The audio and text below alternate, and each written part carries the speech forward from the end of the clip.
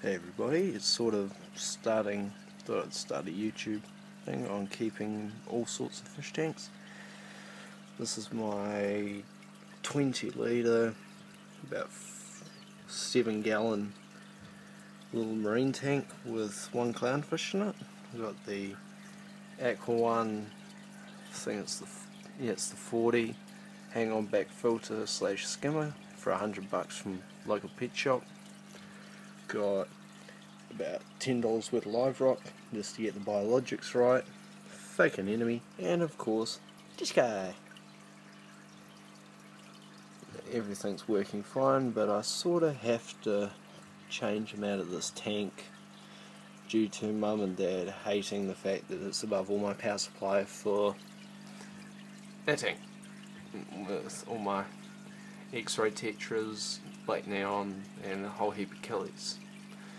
And then next to him I have just a CT fighter in his own wee tank. But back to Nemo. So this is just a quick buzz around of the tank. Sitting at around uh, 26 degrees Celsius. Don't know what that is in Fahrenheit. I got to school to eat my lunch and to design more marine tanks for my room.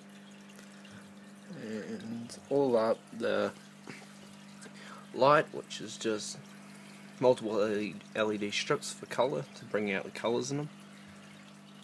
Cost me $60 with a piece of aluminium tubing from an old ladder.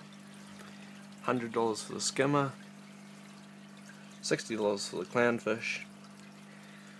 $10 for the anemone.